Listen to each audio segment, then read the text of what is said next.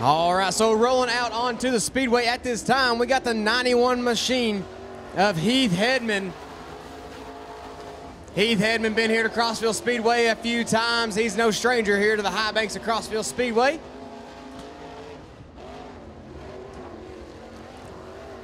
Heath Hedman's going to cross the line on that first lap at a 13.44.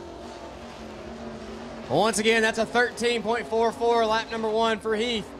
Let's see if he can pick it up any bit here coming out of turn number four. He does not. He falls off just a little bit. Lap number two is a 13.49. 13.49.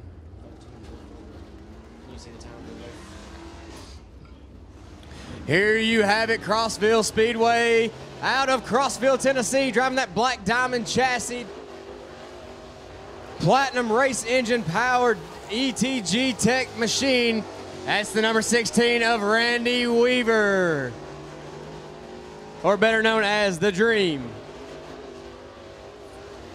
Lap number one for Randy Weaver. It's going to be a 13.41. 13.41 lap number one for the Dream. As he's having a little bit of pushing issue in three and four, he's going to cross the stripe lap number two at a 13.60. 13.60 for the Randy the Dream Weaver.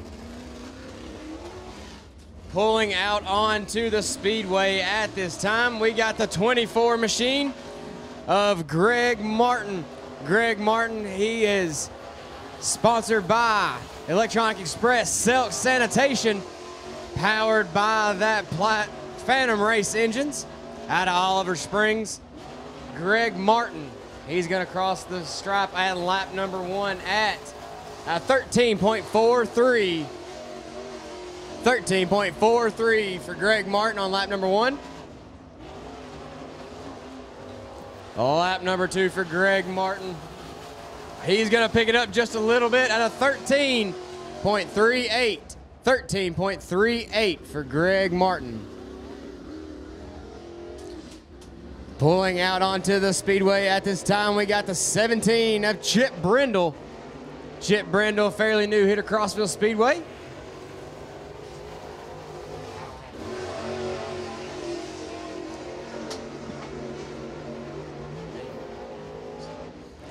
Lap number one for Brindle as he brings it out of three and four. It's going to be a 13.44. 13.44 for lap number one for Chip Brindle.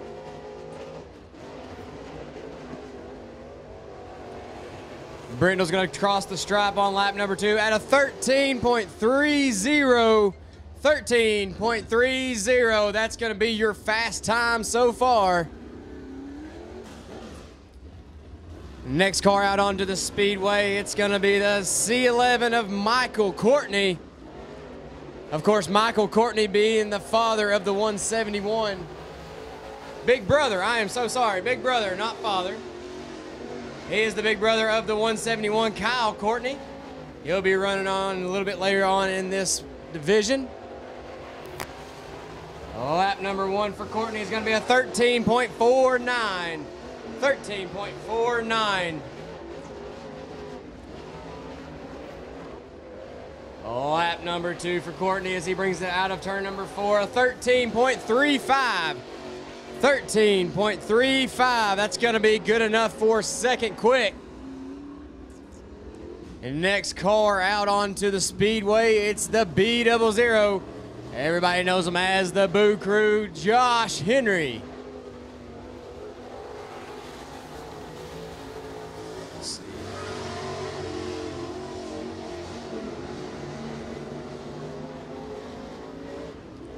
Josh Henry, no stranger here to Crossville Speedway. He's going to bring it out of turn number four on lap number one at a 13.44.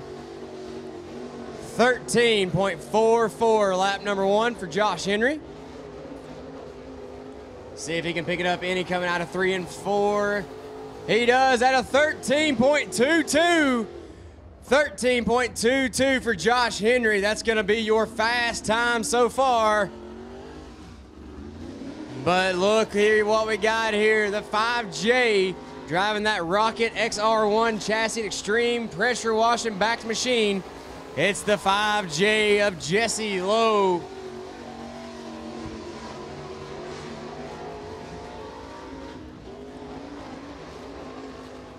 Jesse bringing it out of three and four on lap number one. It's going to be a 13.32. 13.32 for Jesse Lowe. A little bit of a mistake coming out of three and four for that 5J machine. He's going to cross the stripe at a 13.86. 13.86.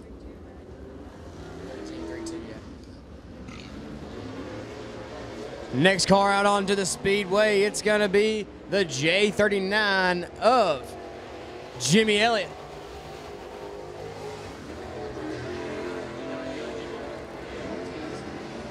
Jimmy Elliott out of Cleveland, Tennessee. No stranger here to the high banks of Crossville Speedway. As he brings it out of three and four on lap number one, it's going to be a 13.52. 13.52 for lap number one for Elliott. He's going to bring it out of three and four once again, and he falls off just a little bit at a 13.57 for lap number two. 13.57 lap number two.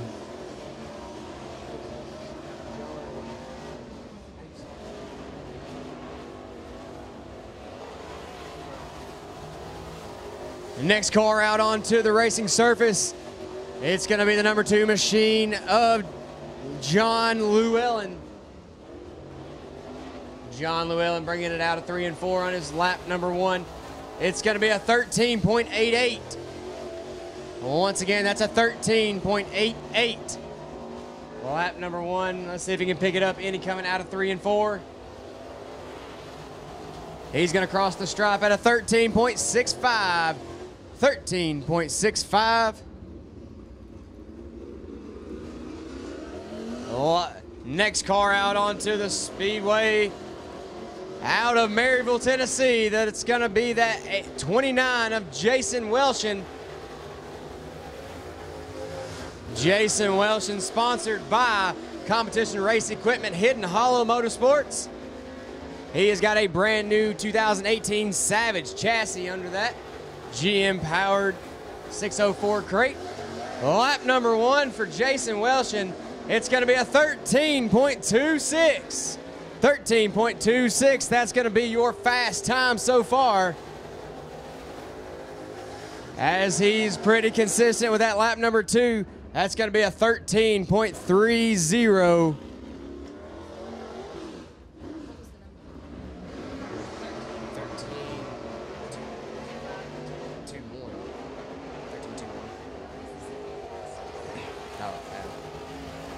Next car out onto the speedway, it's gonna be the 171 Kid Quick, Kyle Courtney. Kyle Courtney backed by that mighty muffler CVR chassis machine. Lap number one for Kyle Courtney is gonna be a 13.54. 13.54.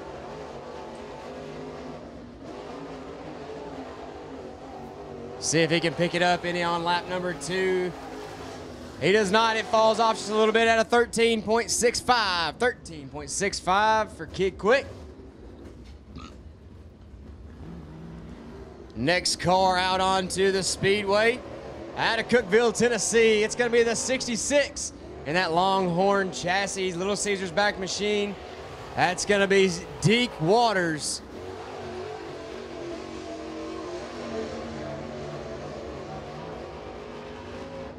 Deke Waters, no stranger here to the high banks of Crossville as he brings it out of three and four. Lap number one, it's going to be a 13.63. 13.63 for Deke Waters.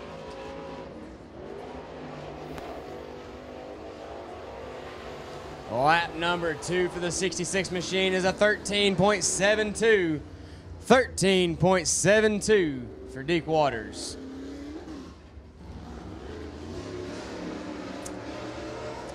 Next car out onto the speedway. This is the third 29 machine we've had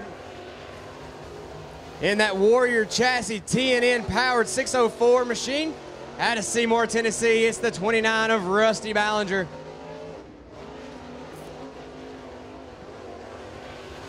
Rusty Ballinger going to cross the stripe on lap number one at a 13.57. 13.57. Ballinger as he brings it out of three and four. It's going to be a 13.46. 13.46 for Rusty Ballinger.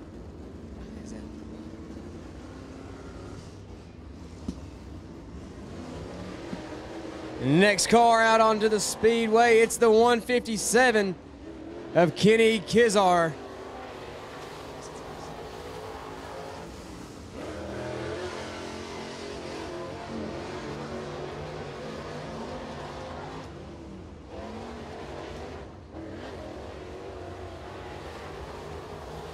Lap number one for Kenny is going to be a 13.90. 13.90 for Kenny. On lap number one, he's going to bring it around three and four, clicking off lap number two. Lap number two is going to be a 13.65. 13.65 for Kizar. Next driver out onto the speedway, no stranger here to Crossville. It's going to be the 76 machine of Perry Delaney.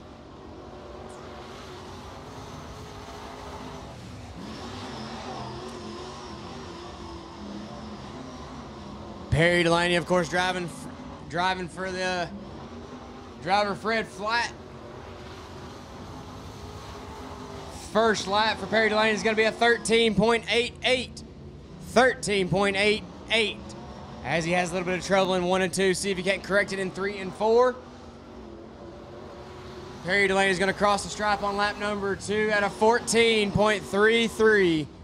14.33.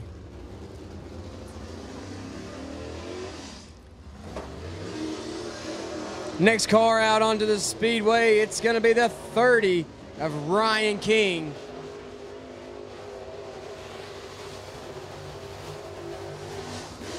Ryan King driving that Warrior chassis. He's going to see if he can get that Warrior machine around the 3 8 mile here at Crossville Speedway. Lap number one for King is going to be a 13.68. 13.68.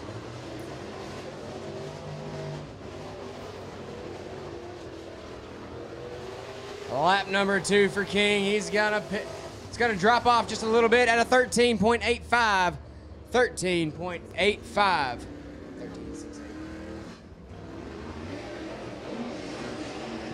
Next car out onto the speedway. It's gonna be the third 29 machine that we have here tonight.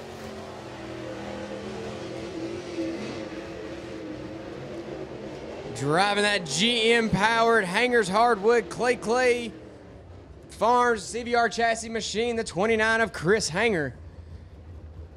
Chris Hanger having a little bit of issues. He's going to pull it down into the infield pit area. That's going to bring his qualifying session to a quick end. No time, I guess. The next car out onto the speedway, his second year in a Crate Late model. It's the 11 of Tyler Howard.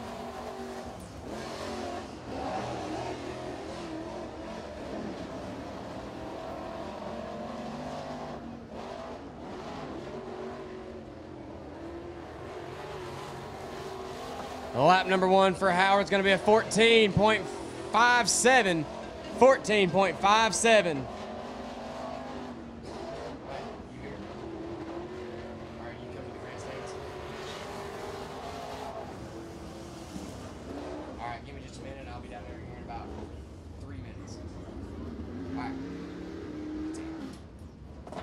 Lap number two for Howard is going to be a 14.27. Next car out onto the speedway out of Wartburg, Tennessee. Driving that Irwin's Constructions Longhorn chassis machine. Uh, it's going to be the 2X of Anthony White. Also known as what we call the Dirty White Boy. Lap number one for the Dirty White Boy is going to be a 13.01. 13.01. That's going to be your fast time. Can he pick it up just a little bit coming out of turn number four? It falls off just a little bit, but it doesn't matter. 13.01. That's going to be your fast time so far.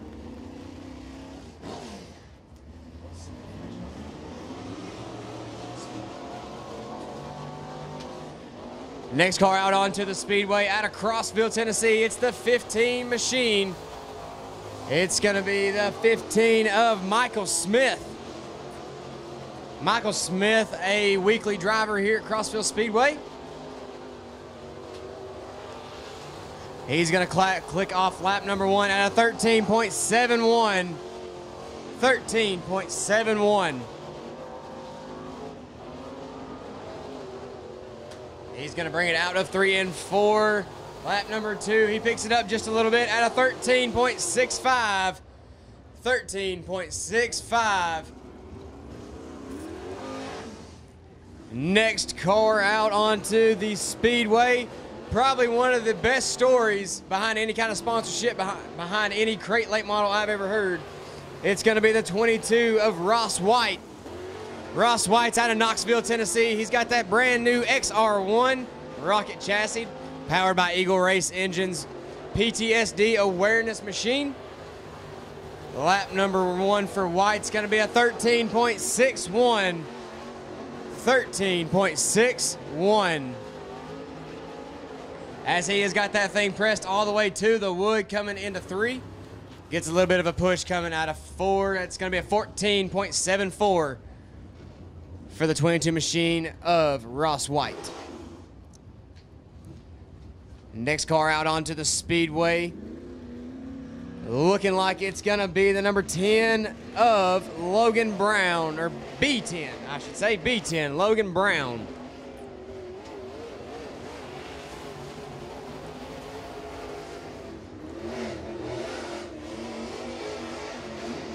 You can hear that machine trying to get all the grip it can in those corners out of three and four.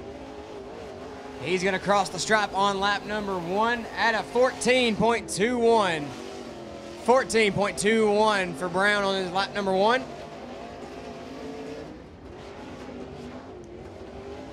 Lap number two for Brown. He's going to pick it up just a little bit at a 13.97. 13.97. And your final crate late model of the qualifying session is going to be the 51 of Mark Matt McCarter. Mac McCarter.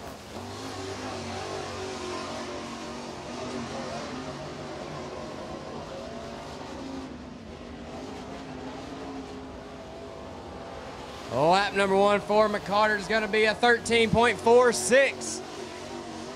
13.46. The McCarter family is well known for the operation of 411 Motor Speedway. Glad to have him here at Crossville. He's going to click off lap number two.